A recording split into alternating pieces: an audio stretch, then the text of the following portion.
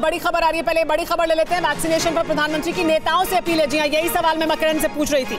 नेताओं से प्रधानमंत्री ने अपील की है कि नेता टीका लगवाने के लिए लाइन ना तोड़ें।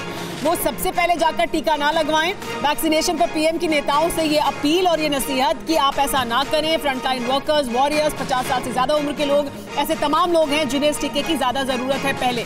तो नेता टीका लगवाने के लिए आगे सबसे ना पहले पहुँचे, क्योंकि ऐसा हो सकता है कि ऐसे कुछ लोग कोशिश करें। तो इसको लेकर प्रधानमंत्री ने सलाह दी है, ये नसीहत दी है कि वैक्सीनेशन पर प्रधानमंत्री नेताओं से ये अपील कर रहे हैं। हमारे साथ अभिषेक उपाध्याय जुड़ गए हैं। कोलकाता से हमारे साथ मौजूद है। अभिषेक प्रधानमंत्री नरेंद्र मोदी की ये अपील बहुत अहमियत रखती है, क्योंकि नेता, रसूखदार ऐसे लोग जो ये कोशिश कर सकते हैं कि वो क्यों जंप करें और पहले वैक्सीन लगवा लें। उसको पहले से ही प्रियम्प्ट कर प्रधानमंत्री ने नसीहत कर दी है, ये अपील कर ली है।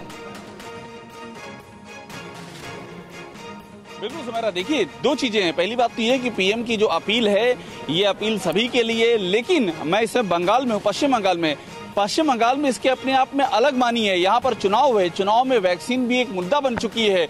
ममता बनर्जी ये कह चुकी हैं कि वो फ्री में वैक्सीन देंगी। लेकिन सवाल ये कि फ्री में वैक्सीन भी मिलेगी तो पहला लाभार्थी कौन होगा, जिसको वाकई ज़रूरत है, जो ज़्यादा एक्सपोज है, जिसके पास स्वास्थ्य सुविधाएँ कम हैं जिसका इनकम लेवल नीचे है जिसकी उम्र ज़्यादा है जो फ्रंट लाइन वर्कर है वो होंगे या रसूखदार लोग होंगे या वो होंगे जिनकी पहुँच है सत्ता के हलकान में।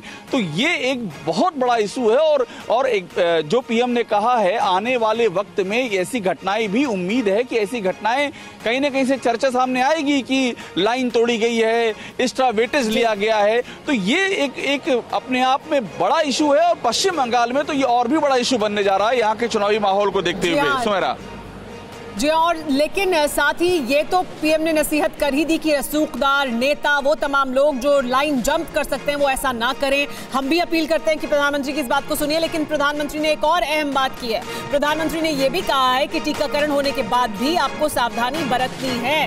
टीका लगने के बाद भी सावधानी बरतते रहने की ज़रूरत है, यानी मास्क पहनने की ज़रूरत है, हाथ धोने की ज़रूरत है, सोशल डिस्टेंसिंग का पालन करने की ज़रूरत है। क्या कहा प्रधानमंत्री ने? सुनिए।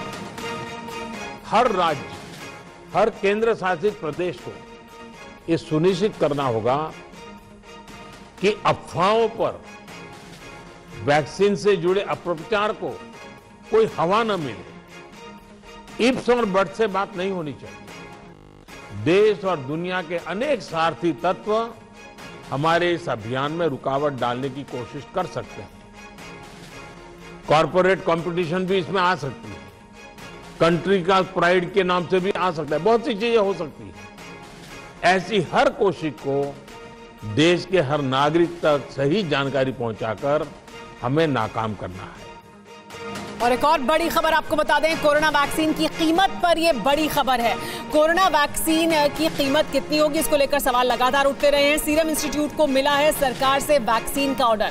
सरकार ने सीरम इंस्टीट्यूट को वैक्सीन का ऑर्डर दे दिया है। सीरम इंस्टीट्यूट से वैक्सीन सरकार खरीदने वाली है और कोरोना की वैक्सीन की कीमत होगी दो सौ रुपए।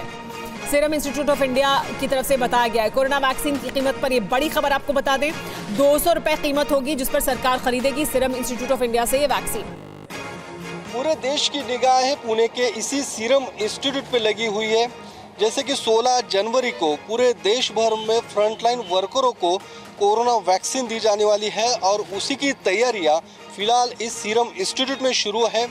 सूत्रों के हवालों से ये कहा जा रहा है कि आज शाम तक या कल सुबह तक यहाँ से जो कोरोना वैक्सीन लेके जाने वाले कंटेनर है, वो बाहर निकलेंगे और उसकी तैयारियाँ फ़िलहाल इस इंस्टीट्यूट में शुरू है। इसके तहत गए कुछ दिनों से यहाँ पे पुणे पुलिस का कड़ा बंदोबस्त तैनात हुआ है और सीरम इंस्टीट्यूट के जो गार्ड है, वो भी यहाँ पे तैनात है। पुणे पुलिस से ये बात चल रही है कि किस प्रकार से यहाँ से वो कंटेनर लेके एयरपोर्ट तक लेके जा सकते हैं, उसका डिस्ट्रीब्यूशन पूरे देश में किया जाने वाला है। तो उसकी तैयारियाँ फ़िलहाल इस सीरम इंस्टीट्यूट में शुरू है। अब देश की निगाह है कि कब यहाँ से कंटेनर बाहर निकलेंगे और कब इस वैक्सीन का डिस्ट्रीब्यूशन पूरे देश भर में होगा। कैमरा पर्सन सुशांत के साथ में योगेश बोर से TV nine Bharatvarsh Pune. You stop nine रोज सुबह सात बजे और शाम सात बजे, सिर्फ़ टीवी नाइन भारतवर्ष पर।